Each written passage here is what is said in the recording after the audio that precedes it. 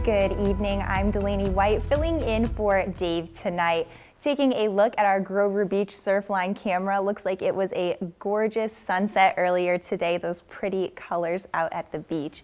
Now our forecast headlines, an excessive heat watch is in effect for this weekend as those interior valleys heat up and high pressure continues building over the region. More on that in a minute. Right now we're going to look at our fog tracker.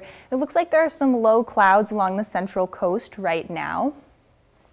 And right now we have some double digit wind speeds in Paso Robles at 14 miles per hour, 9 miles per hour in San Luis Obispo, and 3 in Santa Barbara. Our current temp 79 in Cuyama, 78 in California Valley, 74 in Shandon, and a little cooler out toward the beaches, 55 degrees in Cambria, 57 in San Luis Obispo, 56 in Santa Maria, 58 in Lompoc, 55 in Santa Ynez, and 64 degrees in Santa Barbara. Now that excessive heat watch, here we see everything in yellow is going to be under that excessive heat watch from Friday morning until Monday evening. So those interior valleys will be pretty warm this weekend. Our Avila Beach live cam 59 degrees right now. Santa Barbara 64 degrees and San Luis Obispo 57 degrees and traffic is moving right along this evening. Our coastal valleys, uh, 11 a.m. tomorrow, 72 degrees and sunny, getting up to 78 degrees by 3 p.m.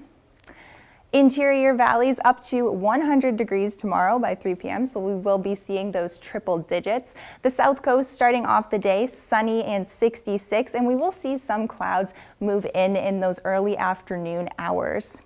The west beaches looks like a sunny afternoon tomorrow getting up to 77 degrees by 3 p.m.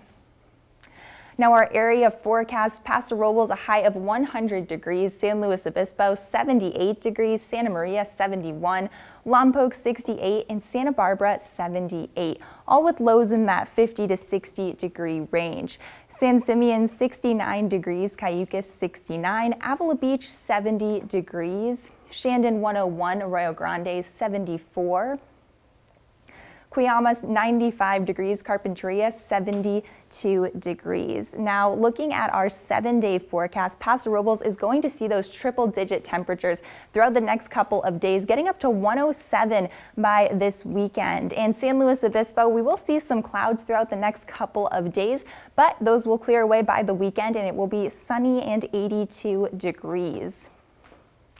Santa Maria also seeing some clouds throughout the next couple of days, but they should clear by the weekend, also sunny and 82. And Santa Barbara, partly cloudy with a high of 80 degrees for this weekend. That's all for weather. Back to you, Nina and Richard.